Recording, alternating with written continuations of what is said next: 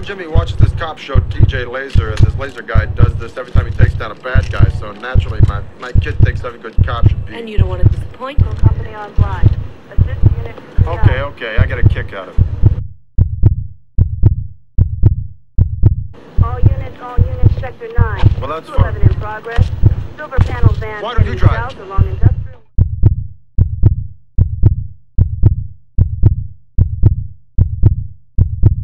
Why, you gotta be some kind of great cop.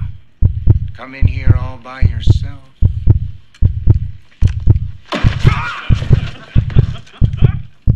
You probably don't think I'm a very nice guy.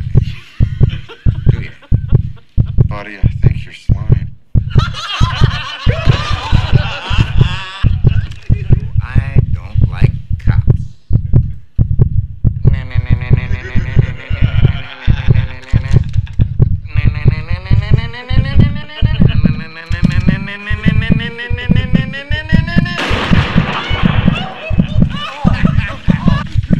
Okay, Bonzo.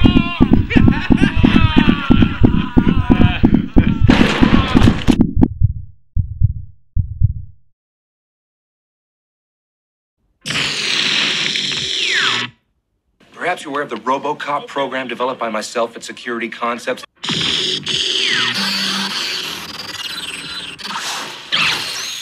Tell me about your plan, Mr. Morton. How long will it take? On the street law enforcement programming, it is my great pleasure to present to you RoboCop.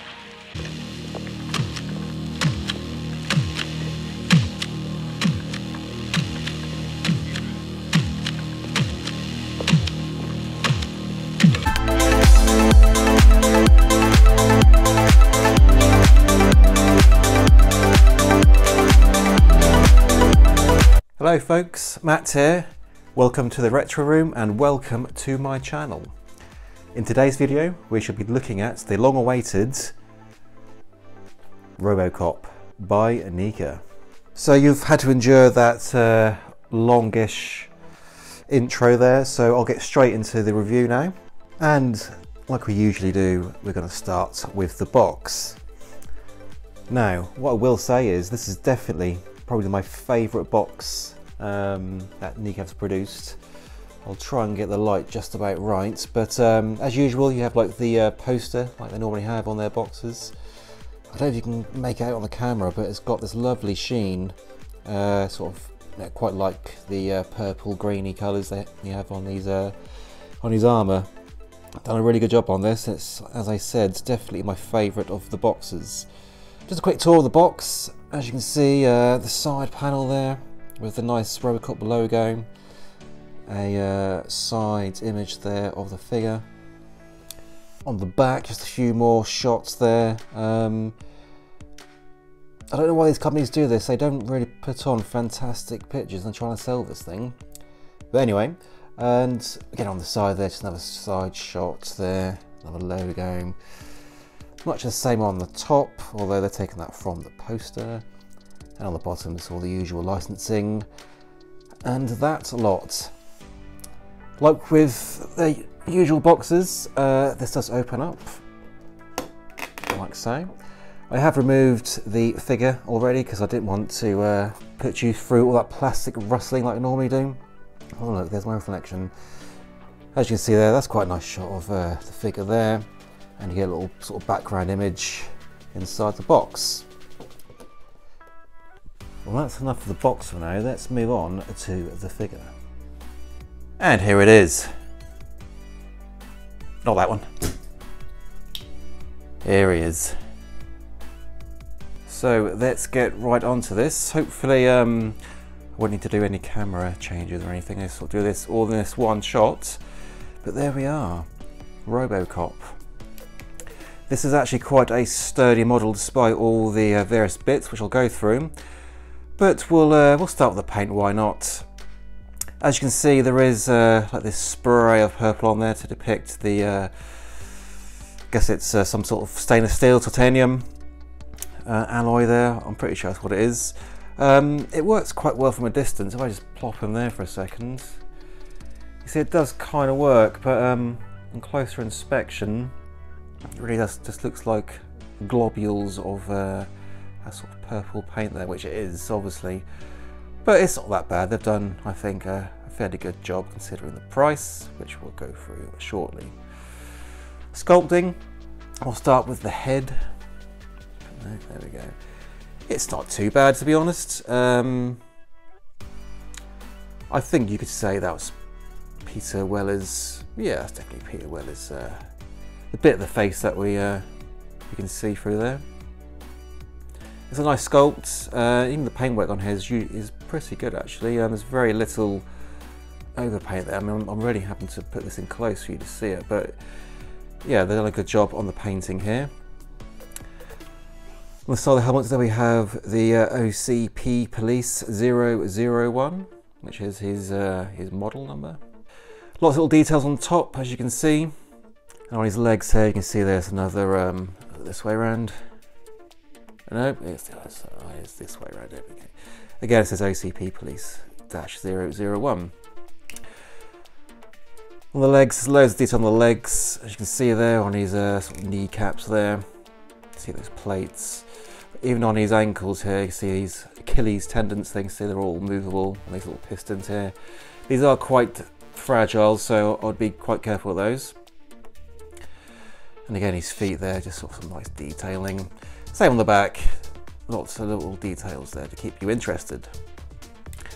Now this does have an action feature, or a couple actually to be fair. Uh, on the leg, it does pop open via this uh, little switch here to uh, show his little uh, gun holster on his leg, but we'll come back to this in a moment. And his other features are, well this is very actually, uh, just close his leg back up, otherwise it's not going to work. Actually, I'll come to this point now. This, uh, the leg part here that opens up, is very fiddly closed again and this part here does come away very easily. It doesn't break as such, but it does come away, but you have to push down fairly hard on this, and then eventually it clicks back in like that. It's quite, I mean, I think if you gave that a few goes, that might loosen up a little bit, but it is quite stiff. But anyway, let's move on to articulation. So obviously the head does move around, as you'd expect. It's got a nice range of movement. Same with the arms, they, they are stiff as well. Same with the elbow, elbow joints, these are quite stiff and the wrists, they do move. This, this has loosened up quite considerably since I've been using it, but um, they were stiff to begin with. You can probably hear that it still uh, needs a bit of work on there. One thing that bothered me with NECA, I just wish there was supply a stand with this because getting these things to stand up on their own without any support is difficult and yeah, I'm sure they can chuck in a little disc or something because they got the uh, the punches in the feet to put the uh, them on the stands. So um, yeah, it would be nice if they could just include something once. But yeah, no, it's a very um, satisfying figure of RoboCop. Hopefully he'll stay. Right, stay. Obviously, this does come with accessories, which we'll go through now. We'll start with his spare head. There we are. It's the one with his helmet removed there. Again, you can quite clearly see that's uh, Peter Weller. Includes the, uh, the bullet hole when he's shot in the head. It's nice paintwork there. Slightly glossy. Just got a nice little finish. And on the back, like there we go, we can see you've got that sort of greasy, sort of oily look to it. Nice little paintwork around where his ears would have been, because this is face, it's just a face. And uh, obviously you got all the little gold box and stuff on there for his voice. Yeah, a nicely painted uh, head sculpt. I will just pop this head off so we can have a look. Again, it's quite stiff to get in, but once it's in, it's not going to come out again. There we are. Yeah, looks, quite, looks nice there. This is where you're going to fall over now, isn't it? There we go. So that's his spare head. We also get a spare hand with the uh, data spike on there. Again, this is very fragile and I nearly broke it removing out of the box, but it survived let's swap hands. Eventually.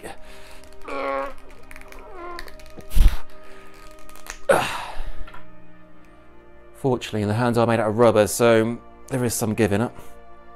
You know what? I've put it on the wrong hand. Never mind. You'll just have to have. Uh... There we go. Here's a data spike. Not going to stand you up anymore. Next, we have the Cobra Assault Cannon.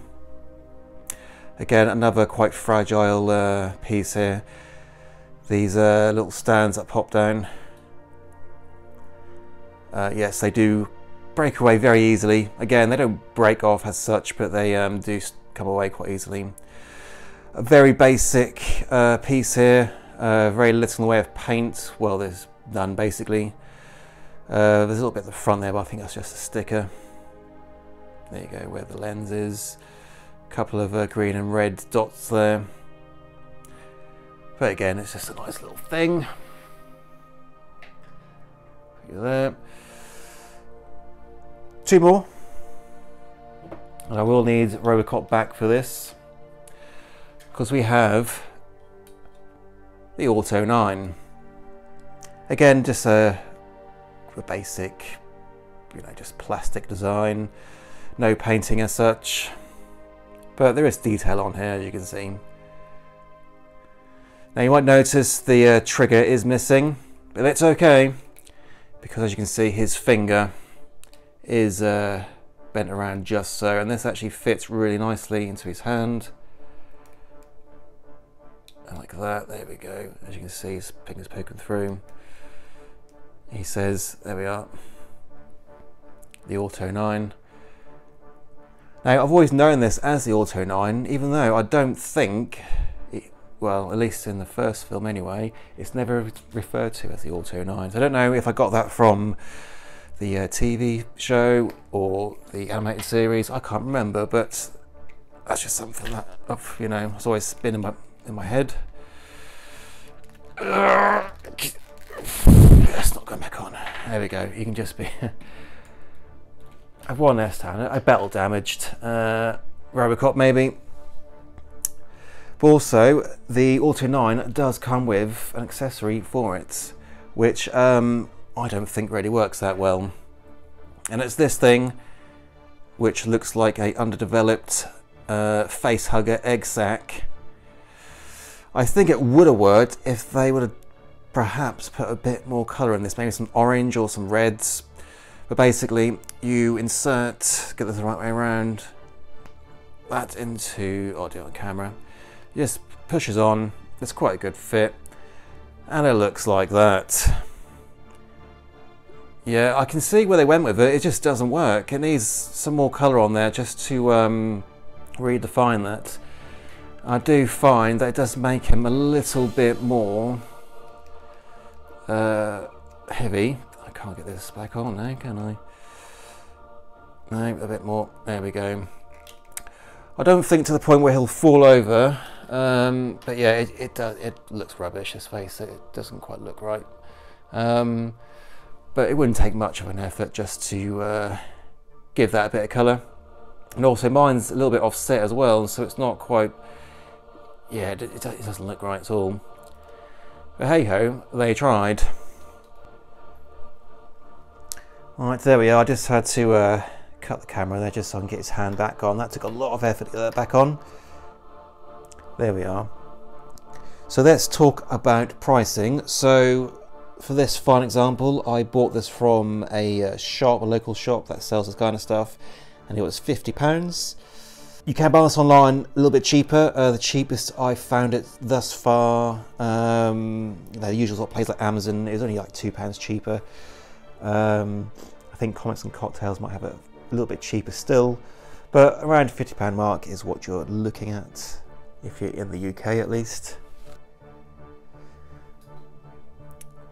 But before I wrap this up, I will just uh, go through something else that I uh, didn't quite go through with you. We'll go back to the the leg here. Pop that open. Didn't show uh, the Auto 9 going in there.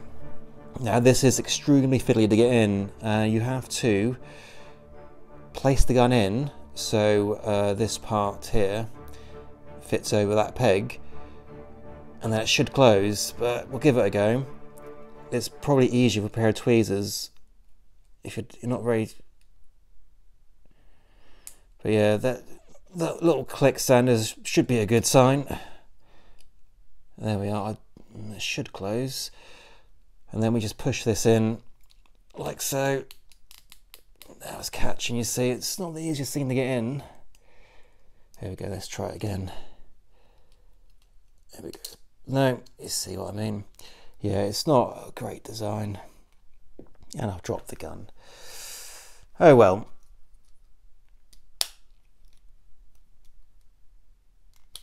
But there we are. So overall, I'm very pleased with it. Um, I'm sure I'd quite happily give this like a 8 out of 10 maybe.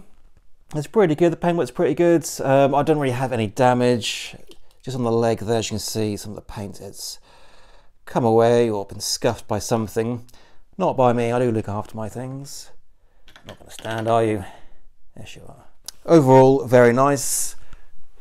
There are three versions, I believe. There's this one, obviously. There's a battle damage version. And there's the, and the third one is uh, I think it's the battle damage version one, but with his chair, and that's a hundred pounds, which I'm not going to get. I don't think. No, no, no, I'm not going to get it. And for anybody that's curious, like me, with the heads, I have checked with the T100 here and his head is uh, it doesn't quite fit on. It was worth a go though. Here you go, see it's far too big. But if you wondered what Arnold Schwarzenegger would look like as Robocop, you get a, an idea there I guess. But there we are, that's uh, I think in a nutshell for me of the NECA Robocop figure there. There we are. But this isn't the last of him, you'll see. Oh no. Because after this video, I do have Ed 209, Guy Fitman shot, just about. There we are, also by NECA. I will be reviewing that in the next few days. I have set some time aside to do that. But I do hope you enjoyed the video, and if you did, please consider subscribing, it really helps me out. And until the next video, see you later.